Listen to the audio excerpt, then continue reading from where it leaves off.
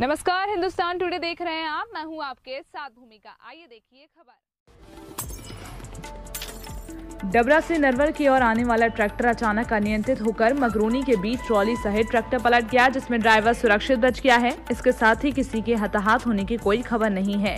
संवाददाता जयंत सिंह गुर्जर की report. Video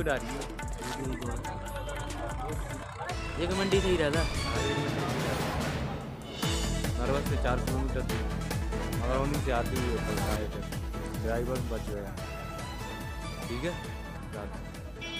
जाते बस।